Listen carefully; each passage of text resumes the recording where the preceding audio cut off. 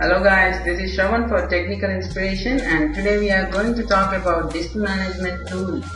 Means this is all about disk management tool and assigning a drive letter to your Windows drives in Windows operating system. So for that simply you should move to disk management tool in Windows XP or Vista or 7 and this is even present in Windows 8 even. So for that simply I have many ways to move to this disk management tool. You can use control panel even but the simple way is to go to my computer. Means my computer right click on my computer manage.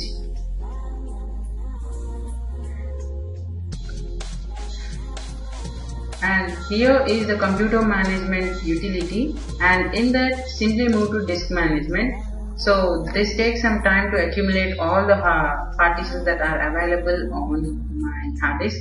And this is the disk management utility where you can change the drive letter to personalize your data. So well, here you can click and you can add remove change. Whatever you want you can do that and this is all about disk management utility in Windows 7, Windows XP and Windows 8 even and this also works in Windows Vista also. Hope you like our video. Please rate, comment and subscribe. Thank you.